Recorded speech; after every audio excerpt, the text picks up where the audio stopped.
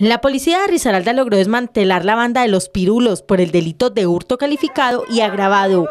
Los capturados pertenecían al cabildo en Vera Chamí de Pueblo Rico. Estos fueron expulsados de su territorio por los constantes hurtos a su comunidad.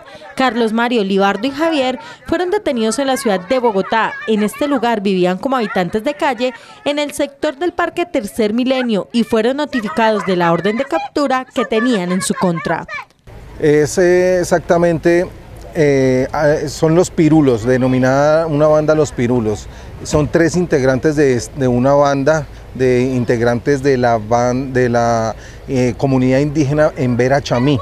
Ellos habían sido en el año inmediatamente anterior expulsados, capturados inicialmente por la Guardia Indígena en repetidas ocasiones y posteriormente ya fueron expulsados de la comunidad y de la Guardia Indígena precisamente por esos actos delictivos.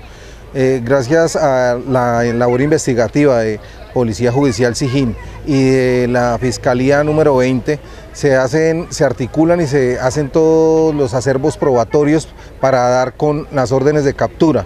Una de ellas, una de las capturas se hace en el municipio de Pueblo Rico y, otra y otras dos capturas se hacen ya en Bogotá, en donde, se, en donde se hacen las capturas y se entregan ya a disposición de la Fiscalía competente de espera, pues ya dejarlos en, en una medida intramural o lo que decida los jueces. Los capturados, quienes están solicitados por el juzgado promiscuo municipal de Apía, fueron dejados a disposición de la autoridad correspondiente.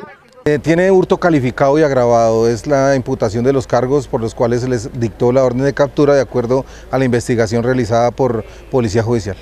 En otros hechos, un salón del Jardín Botánico del municipio de Apía se había convertido en el lugar preferido para que los habitantes de calle consumieran y vendieran droga, asimismo para almacenar objetos hurtados. La policía tumbó uno a uno los muros del sitio, el cual dará paso a una adecuación por parte de los entes municipales para convertirse en un lugar de avistamiento de aves. En APIA se tiene un trabajo continuo contra todo el tema del microtráfico y la organización delictiva, entre todos los temas de, venta y consumo de estupefaciente. Esto nos ha hecho un acompañamiento con el eh, la misma alcaldía y acompañamientos que se han hecho en policía con eh, los entornos escolares.